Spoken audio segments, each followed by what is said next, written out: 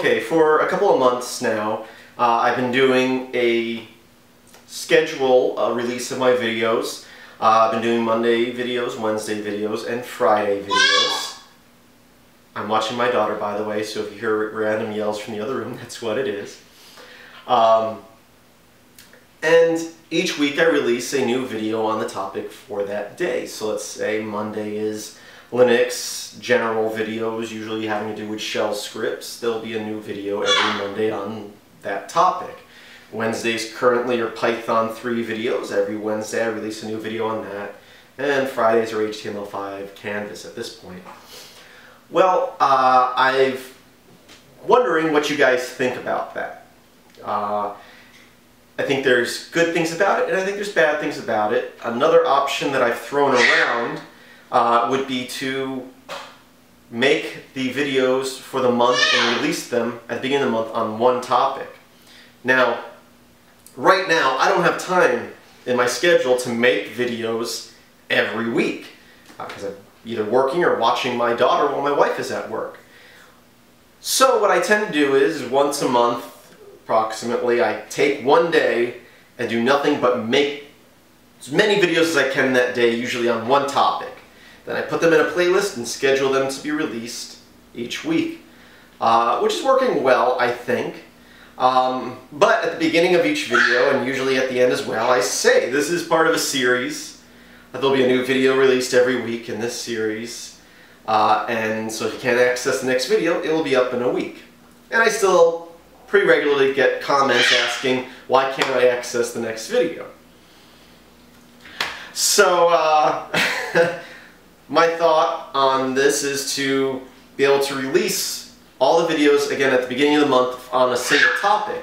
So let's say this month I want to release all my Python videos. I take all the Python videos I made and instead of releasing them once a week over the next two months, I'll just release them all right now today and not do any more videos for the rest of the month. And that way you can watch them all and you don't have to wait till next week for that topic. Now, as again, there's I can see good things and bad things about both. Uh, right now, people might get frustrated that they get halfway through a tutorial series and have to stop and wait a week and then they only get one more video, then they have to wait another week. And I can see that as being annoying.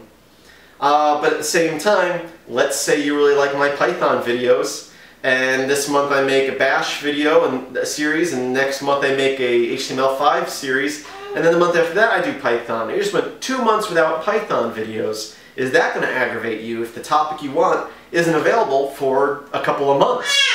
Um, again, I'd be releasing the same videos I would as before, just releasing them in big bulk packages rather than a little bit at a time.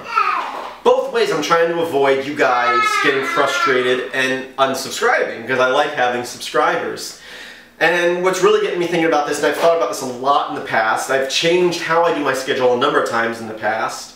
And although I think how I'm doing it now is working well, uh, I'm just wondering about your opinion on what you think might be better. Um, a couple of weeks ago, what really got me thinking about now is that I looked at my YouTube statistics. And over the last year, over the last year, I gained about just short of 2,000 new subscribers, which is great. But I also lost almost 600 subscribers. So kind of a two-step forward, one-step back deal going on there. And I don't want to lose subscribers. And of course, I'm always going to be losing subscribers because I can't do videos on every topic every day, you know? And I'm sure a lot of those maybe are on topics that I did years ago and I just don't do videos on those topics anymore, or very rarely do topics because there's just too much to teach to be able to teach them all at once. I'm only one person and this is just a side thing for me.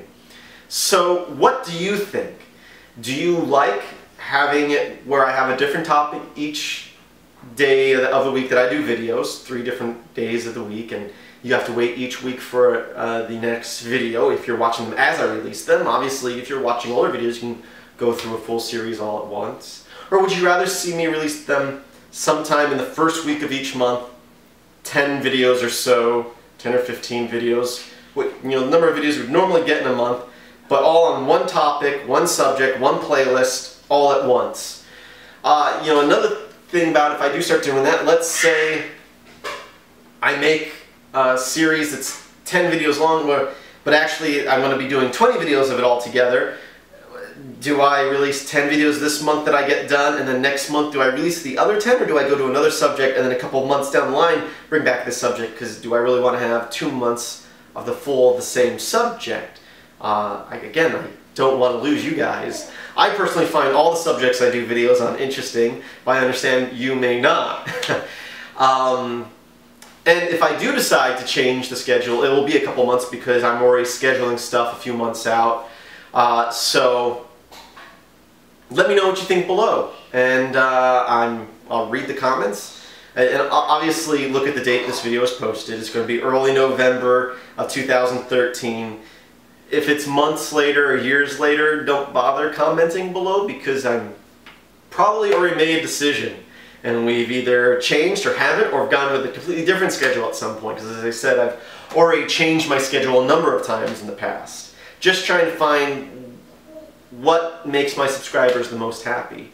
So same videos just I don't know is it a good idea to have a month or two on the same subject avoiding all other subjects I guess it's great if it's a topic you like or will I lose subscribers because you guys aren't. But at the same time, I might get more subscribers and more views if people can go through the whole series because maybe they'll watch a video or two and then, oh, the next video is not available and then they never come back for the next videos. Where if I release them all at once, they can go through them all and I might get more views.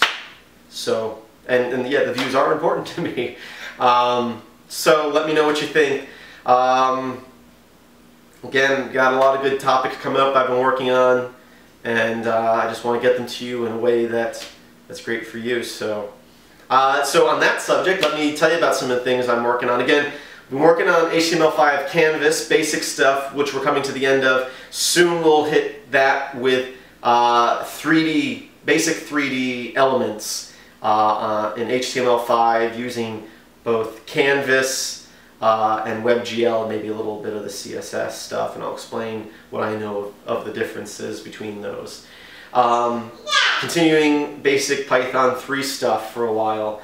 Uh, shortly, uh, the beginning of 2014, uh, once we finish the SED series, which will be going for another uh, month or two, once we finish that, I, am going to be working on a series on uh, basically uh, Linux file system, file systems, partitions, live CDs, um, and just all and boot process, bootloaders, all, all, all that on that subject. We're going to be taking images from live CDs, mounting them, taking the file system image, extracting them, mounting them, pulling stuff out of them, putting stuff in them, repackaging putting them back onto a CD and making it a bootable CD and, and, and all stuff like that. So we're going to be going over just a bunch of stuff like that. Going to be doing some uh, Chroot uh, file system installs so you can uh, chroot into other Linux distributions on your current running system, uh, which is great, especially when it comes to like working on Android devices. You can chroot into a Debian or Ubuntu or whatever um, operating system you want and run whatever program you want from their repositories. Um, also a great way to do installs on different systems or create a file, a, a chroot ARM system for an ARM device, whether it be Android or maybe a router or something. So we're going to get into all that stuff. Uh, might be a little more advanced than some of you are used to, but I hope that I think I'll explain it pretty straightforward, and I hope that you'll find it be a lot of fun. So that's another thing we're working on. So look forward to that. Hope you guys do too. Let me know below. Do you think it's a good idea to do a monthly series, releasing it all at the beginning of the month, or do you think it's good to have a variety throughout the month so that if I do decide to do a topic you don't care about, there's still other options out there and you're just not, not watching my videos for a while. So comment below. Thank you for watching. Hope that you have a great day.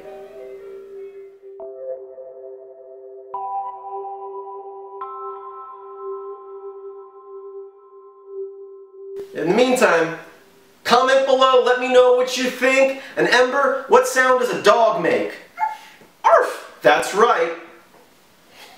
Ember, do you have any other suggestions for my YouTube channel? Uh, yeah, Dad. I think, I think, I think you need more Ember on your channel. Oh, oh, oh. What sound does a dog make? What sound does an owl make? An owl?